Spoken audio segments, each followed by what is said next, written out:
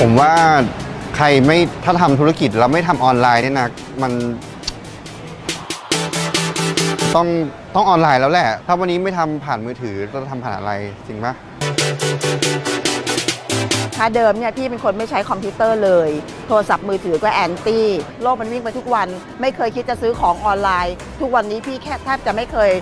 แทบไม่เคยเข้าซูเปอร์มาร์เก็ตเลย เรื่องราวของเทรนด์ออนไลน์นะคะ ที่จะเข้ามามีบทบาทกับสังคมปัจจุบันนะคะ ก็รู้สึกว่าอยากที่จะแบบว่าเข้ามาทำธุรกิจเทรนด์นี้มานานแล้วค่ะ จริงๆ แอปพลิเคชันเนี่ยเราใช้ทุกวันอยู่แล้วใช่ไหมคะ อย่างเช่นเราถ่ายรูปทุกวันอยู่แล้ว แต่เราไม่เคยรู้เลยนะคะว่ารูปจากสมาร์ทโฟนของเราเนี่ยสามารถนำมาสร้างรายได้ได้เยอะมากๆ แล้วที่สำคัญนะคะ วันนี้นะคะเขาเอาคนที่เล่นแอปพลิเคชันเหล่านี้นะคะแล้วได้ผลลัพธ์จริงเนี่ยมาสอนเราด้วย อันเนี้ยเยี่ยมมากๆเลยค่ะ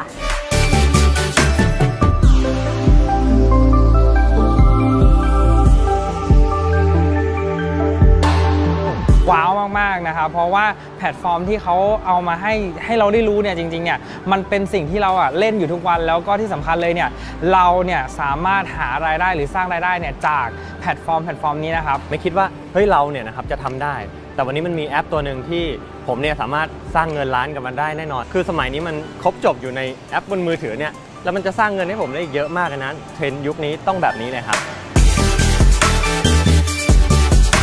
เทคโนโลยีนี้เรียกว่ากำลัง in trend เลยนะคะ เพราะว่าเราสามารถที่จะสร้างเงินจากทางมือถือ เพราะฉะนั้นเนี่ยหมายถึงว่าหาเงินจากทางออนไลน์ได้ทุกที่ทุกเวลาเป็นเทรนด์ที่กำลังมาจริง ๆ ค่ะ